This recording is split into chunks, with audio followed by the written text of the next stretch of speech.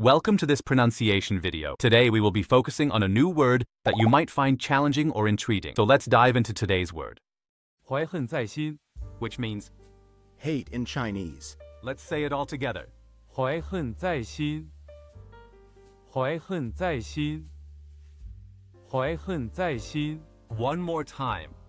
怀恨在心，怀恨在心，怀恨在心。 Thank you for joining us on this adventure in pronunciation. Remember, language is a journey, not a destination. Keep exploring, experimenting, and expanding your linguistic horizons. We'll see you next time.